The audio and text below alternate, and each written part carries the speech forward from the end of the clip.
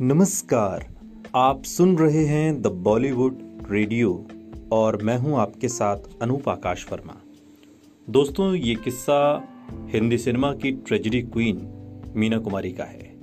मीना कुमारी और धर्मेंद्र की जोड़ी एक वक्त बड़े पर्दे की बेहतरीन जोड़ी थी। धर्मेंद्र उन दिनों इंडस्ट्री में नए ही आए थे। मीना उनके अंदाज से बहुत प्रभावित थी और उन्होंने धर्मेंद्र के करियर को संवारने में अपनी महत्वपूर्ण भूमिका निभाई।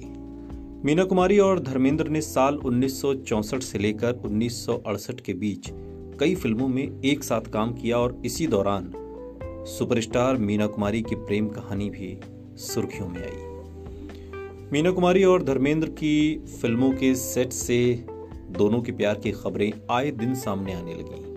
बात इतनी बढ़ी कि तत्कालीन राष्ट्रपति डॉक्टर सर्वपल्ली राधाकृष्णन तक भी पहुँची। अभिनेता अनु कपूर ने अपने radio show Suhana Safar with Annu Kapoor में इस बात का ज़िक्र किया था। उन्होंने बताया था कि मीना और धर्मेंद्र के रिश्ते पर राधा कृष्णन ने मीना कुमारी से ही सवाल पूछ लिया था। दरअसल मीना कुमारी दिल्ली के एक सार्वजनिक कार्यक्रम में शामिल होने के लिए आई थी और इसी कार्यक्रम के दौरान तत्कालीन राष्ट्रपति राधा कृष्णन ने मीना कुमारी से धर्मेंद्र के साथ उनके रिश्तों पर सवाल पूछा। मीना कुमारी धर्मेंद्र के करीब जब आई, तब उनका रिश्ता अपने पति, मशहूर लेखक, निर्देशक कमाल अमरोही से टूटने की कगार पर था। वो अपनी फ़िल्मों में धर्मेंद्र को लेने के लिए प्रोड्यूसर्स के सामने शर्त तक रख देती थी। अगर फ़िल्म में धर्मेंद्र होंगे, तभी काम करूँगी। धर्मेंद्र और मीना कुमारी की जोड़ी ने पूर्णिमा, काजल, मैं भी लड़की हूँ, फूल और पत्थर, मंजली दीदी, बहारों की मंजिल जैसी कई लोकप्रिय फ़िल्में की और खूब कामयाबी हासिल की। मीना कुमारी धर्मेंद्र से इतनी मोहब्बत करती थी कि उनसे कुछ समय भी वो दूर नहीं रह पाती थी। एक बार कुछ दोस्तों के साथ दोनों पिकनिक के लिए गए थे। आते वक्त धर्मेंद्र दूसरी गाड़ी में बैठ गए, जिसके बाद मीना कुमारी गाड़ी से उतरकर सड़क पर बैठ गई थी। कहा जाता है कि वो बीच सड़क पर बैठकर चिल्लाने लगी थी कि मेरा धर्म कहाँ है? साल 1966 में आई फ़िल्म फूल और पत्थर काफ़ी लोकप्रिय हुई थी और धर्मेंद्र एक स्टार बन चुके थे।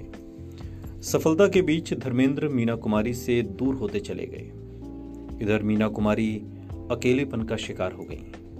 वो धर्मेंद्र से दूर होने का सदमा बर्दाश्त ही नहीं कर पाई और शराब में डूब गई। मीना कुमारी आखिरी दिनों में बीमार रहने लगी थी। कहा जाता है कि धर्मेंद्र बीमार मीना कुमारी से कभी कभी मिलने चले आते थे। लंबी बीमारी के बाद 31 मार्च साल 1972 को मीना कुमारी ने इस दुनिया को हमेशा हमेशा के लिए अलविदा कह दिया। मीना कुमारी की यूँ तो कई फ़िल्में हैं जो हिंदी फ़िल्म इंडस्ट्री के लिए एक मिसाल है।